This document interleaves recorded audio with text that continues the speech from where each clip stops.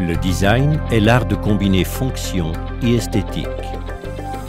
Et ce n'est pas un hasard si la fonction est mentionnée en premier chez Vezo.